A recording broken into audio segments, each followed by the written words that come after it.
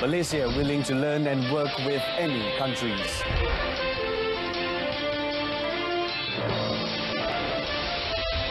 New subject package options for Form 4 and 5 students beginning next year.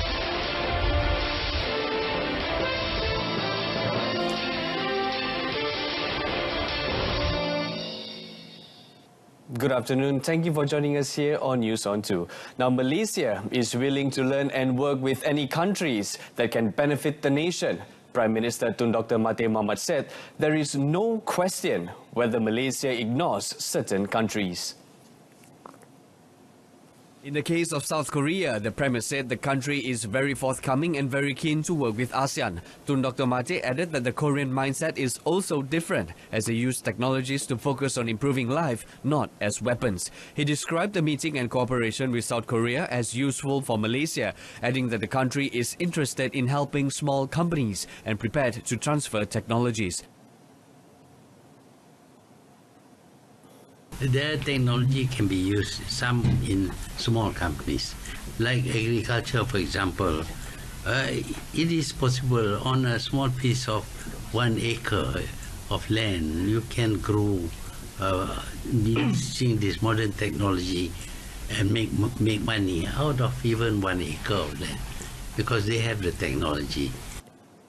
He said this after concluding the ASEAN South Korea Commemorative Summit in Busan, South Korea. Now, the Premier was also of the opinion that the region should practice trade without borders. Malaysia, nevertheless, he said, should take steps to protect its new industry. Uh, for trade, I think it's very good, but um, uh, we feel that uh, we need to be a little bit protective of our own uh, infant industries. And we also must uh, be uh, careful about um, the kind of technologies that we want to acquire.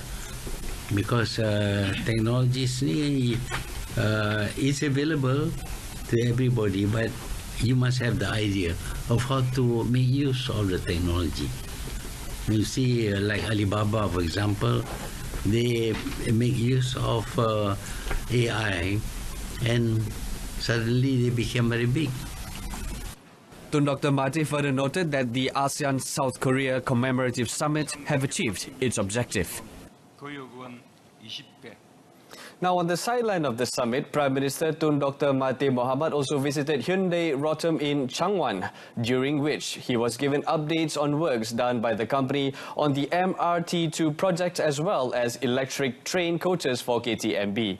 The company has successfully delivered many rolling stocks for Metro Rail, National Rail and High Speed Rail.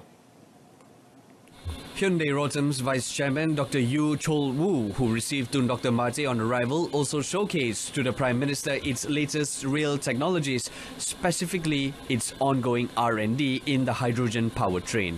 The company is the largest rolling stock manufacturer in South Korea, with exports to 36 countries all over the world. Spending about two hours touring the facility, the Prime Minister also test drive the Hyundai Nexo, a hydrogen fuel cell-powered crossover sport utility vehicle SUV. Besides that, he also witnessed the signing of a Memorandum of Understanding MOU between Malaysia's Sapura Group and Hyundai Rotem to collaborate in rail-related technologies. Sapura Group Chief Operating Officer Datuk Muhammad Zarif Hashim said the idea is for Sapura to work together in electronics and rail system rails so that the technology can be transferred to Malaysia. Sapura has in fact identified an area in Mentakab where the intersection between KTMB and ECRL rail track for the facility.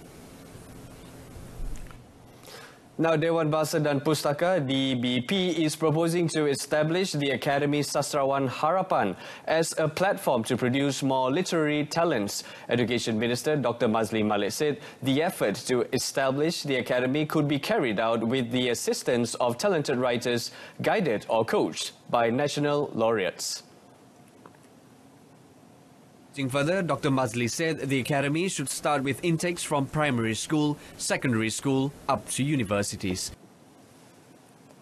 Bagaimana sedari awal anak-anak ini akan dibawa untuk berguru dengan sastrawan-sastrawan negara kita supaya membina mereka punya bakat uh, yang di, diajarkan oleh para sastrawan negara sendiri dan kita dapat persetujuan daripada pengurusi Dewan Bahasa sendiri beliau sendiri akan memantaunya secara peribadi dan kan ha, dan menjadi pemilik kepada projek yang besar ini yang kita berharap akan mengubah lanskap sastra negara kita di masa akan datang. The minister said this at the presentation of the Malaysia Premier Literary Award HSPM and Hadiah Sastra Tunas Cipta 2017-2018. In addition, starting next year, Dr. Maszlee said the ministry would also ensure that government schools will create a national literary corner to cultivate love for literature. Now, starting from next year, the Education Ministry will introduce new subject package options for the Form 4 and 5 students. The secondary school curriculum will be introduced following the abolition of science and art streams for Form 4 and 5 next year. The packages are designed to meet tertiary education entry requirements and a student's preferred career path. According to Deputy Director General of Education, Dr. Habiba Abdul Rahim, these subject packages will cater to students' interests and capabilities. However, she said the students will still have to study three subject areas, namely core subjects, compulsory subjects, and elective subjects. The core subjects are Bahasa Melayu, English, history, mathematics, science and Islamic studies or moral, while the compulsory subject in the physical and health education. As for the elective subjects includes physics, chemistry, biology, additional mathematics and so on. The students will have to take core and compulsory subjects while elective subjects are optional. Package ini uh, adalah digubal berdasarkan uh, pilihan-pilihan dan ke, uh, keperluan untuk memenuhi uh, kriteria-kriteria tertentu untuk melanjutkan pelajaran ataupun kerjaya. She disclosed this during a briefing on the new subject package options for Form 4 students in Kuala Lumpur. The PKR President and Secretary General does not have the power to amend the decision of the Central Leadership Council MPP to expel two party members last Saturday. Its Secretary General Datuk Sri Saifuddin Nasution Ismail said statements claiming that he and party president Datuk Sri Anwar Ibrahim could review the decision was wrong because the party constitution does not authorize them to do so. Dalam perlembagaan parti seorang yang dipecat dia boleh mengemukakan rayuan. Dalam satu, satu tempoh masa rayuannya akan diteliti balik oleh pedal rayuan parti. Itu prosesnya. There is no such thing as presiden and setiausaha agung uh, mempunyai kuasa untuk mengubah. No such thing. Tak ada He also said the question of annulling the expulsion did not arise although the Malaysian Anti-Corruption Commission MACC admitted that it had erred in sending a letter to PKR recommending disciplinary action against the two. Dato Sri Saifuddin added that the sending of the letter may have been a procedural error, but it did not change the facts of the case and MACC's view that there were wrongdoings on the part of the two members. Police believe they have solved several cases of copper robbery cases around the Perai industrial area with the arrest of a man and his nephew, aged 37 and 30 respectively, at their house in Kebun Sirih, Bukit Mertajam last Friday. Following the arrests, police then managed to nab three others, including a Myanmar national, believed to be involved in the gang of copper robbers. Pulau Pinang CID Chief Dato Zainul Sama said police acted after receiving information from a factory of a robbery at midnight on the 17th of November, which involved tens of thousands of ringgit in losses. mengambil golongan tembaga dari dalam kilang seberat lebih kurang 2000 kg itu dua tan lah ya. lebih kurang 20 minit kemudian suspek telah melarikan diri bersama-sama dengan barangan milik kilang. Jumlah kerugian lebih kurang ringgit Malaysia 70,000. Preliminary investigation revealed that the 37-year-old man was a technician at the factory and had acted as the mastermind behind the robbery. All five are remanded for seven days since last Saturday. The case is investigated under Section 395 or 397 of the Penal Code for armed robbery. The Kuala Lumpur High Court has fixed this Friday to decide whether Malacca's Gadek State Assemblyman detained under the Security Offences Special Measures Act 2012 SOSMA for his alleged involvement with the LTTE terror group is allowed bail or otherwise.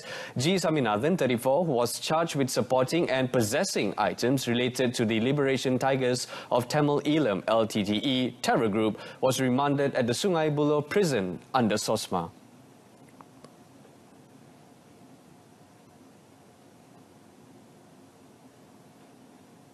Judge Muhammad Nazlan Muhammad Ghazali heard submissions from counsel Ram Karpal Singh, representing Saminathan, and Deputy Public Prosecutor Muhammad Iskandar Ahmad in the proceedings, which began at 4.30 p.m. and ended at 8 p.m. yesterday.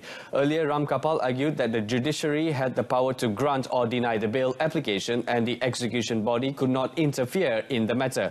The lawyer said they accepted that it was not an easy matter for the court to grant bail, but to deny his client's rights to obtain bail was unreasonable.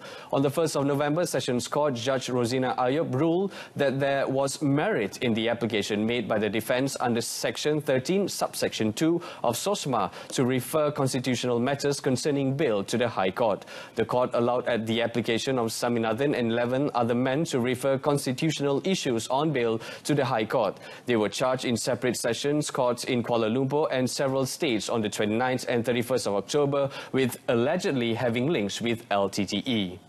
Now, Kumpulan Prasarana Malaysia Berhad handled 1.4 million riderships each day this year through its transport services throughout the country. The figure is an increase over the 900,000 riderships for the service in 2018.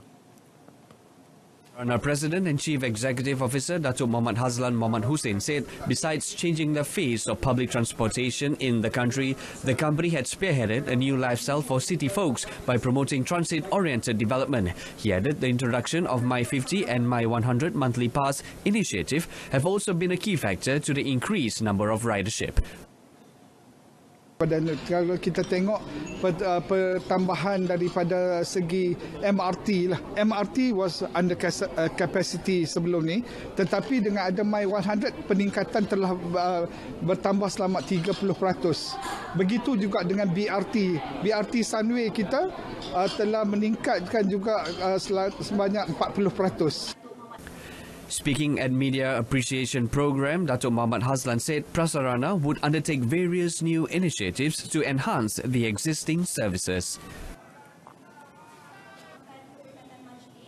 The government is maintaining its projection of 4.7% gross domestic product GDP growth for 2019 despite the weaker third quarter performance and external headwinds. Finance Minister Lim Guan Eng said the annual growth would be supported by expansion in the fourth quarter, usually the strongest quarter of the year. Only the fourth quarter is a, is a stronger quarter. So I think uh, we feel that the the uh, the economy will be able to uh, show a better performance so that we can stick to our original estimate of 4.7 percent. He was met after launching the Securities Commission Malaysia's Sustainable and Responsible Investment Roadmap for the Malaysian capital market in Kuala Lumpur. On the 15th of November, Bank Negara Malaysia announced that the country's GDP grew by 4.4% in the third quarter this year, which was slower than 4.9% growth recorded in the second quarter. The economy currently has registered an average growth of 4.6% in the first nine months of this year. There's only three days left to the official opening of the 2019 SEA Games in the Philippines. And workers are still busy putting on the final touches, especially on the media center at the International Media and Broadcasting Center in Clark. Despite all the controversies surrounding the bad planning and late construction of the center, like it or not, international media teams, including RTM, need to move in on time for the opening until the closing day on the 13th of December. Clark, which is situated more than 90 kilometers from Manila, has been officially appointed as the media host city for the 30th SEA Games. The International Media and Broadcasting Center will be based in the ASEAN Convention Center in Clark Freeport Zone, Pampanga, Philippines. All the events for this edition of the Games will be held at various locations, including in Manila, Clark, Subic, covering 43 venues. 15 venues are located in Manila, 11 in Clark, 9 in Subic, and 8 others in the southern Luzon region and others. Among the events to be held in Clark are swimming, diving, athletics, archery, shooting, rugby, and softball. RTM's crew covering the games have already arrived at Clark yesterday, and we promise to bring the best coverage possible, especially events involving Malaysian athletes right here on RTM. Now onto the game of netball. Malaysia is on track to defend the SEA Games netball title after whipping hosts Philippines 88-25 in the preliminary round yesterday. Despite playing in front of the vociferous home crowd at the Santa Rosa Sports Complex, Laguna in Manila, the girls showed their class and prowess as the defending champions to chalk a big margin victory.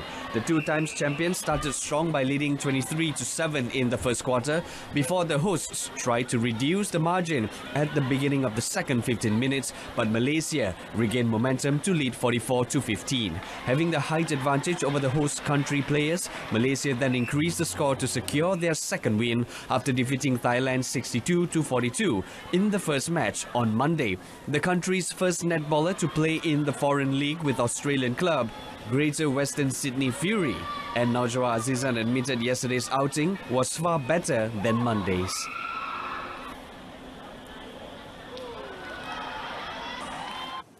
That concludes this afternoon's edition of News on 2. A reminder of our top story, Malaysia, willing to learn and work with any countries.